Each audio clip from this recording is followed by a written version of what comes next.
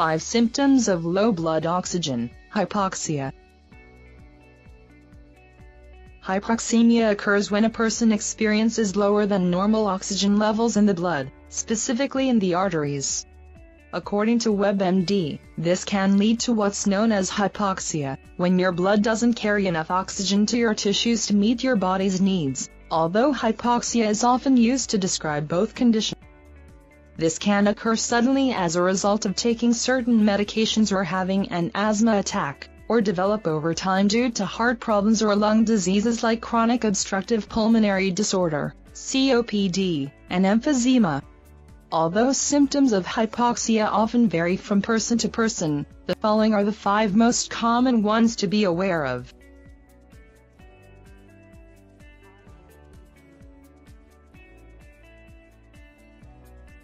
One, Skin color changes.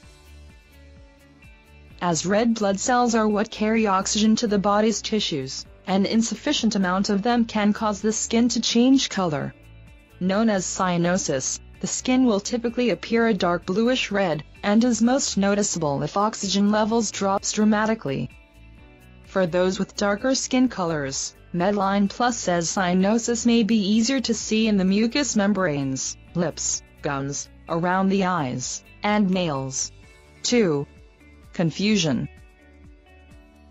The NHS defines a state of confusion as not being able to think clearly or quickly, feeling disorientated, and struggling to pay attention, make decisions, or remember things. If you notice yourself or someone else suddenly exhibiting any of these symptoms, it may be an indication of hypoxia. Sudden hypoxia could be caused by a variety of reasons, from a severe asthma attack to a problem with the heart or lungs. 3. Coughing. One of the most common causes of hypoxia is a severe asthma attack, during which it can be hard to get sufficient air into the lungs as the airways have narrowed. In an attempt to clear the lungs, a person may cough frequently, while this is a natural reaction, it can prove dangerous as WebMD says coughing to clear your lungs uses even more oxygen and can make symptoms worse. 4. Rapid heart rate and breathing. An increased heart rate most often occurs when engaging in physical activity, so if it happens while at rest it may be an indication of hypoxia. When the body isn't receiving sufficient oxygen, livestrong.com says that the heart ends pumping faster in order to help circulate oxygen-containing blood throughout the body in an attempt to meet the cell's needs.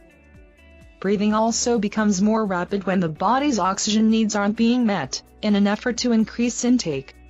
While people normally breathe at a rate of 12 to 16 times per minute, in these situations rates may increase to 24 breaths or higher. 5. Shortness of breath. Shortness of breath is considered one of the most obvious symptoms of hypoxia, and often occurs as a result of the increased heart rate and breathing mentioned previously. It often occurs while at rest, and can become so severe that it feels as though you're choking. Shortness of breath will be especially pronounced when engaging in physical activities, and may decrease one's tolerance for them. It may also happen during sleep, causing you to wake up out of breath. In some cases, shortness of breath may also be accompanied by wheezing, a high-pitched whistling sound that occurs when breathing, particularly exhaling,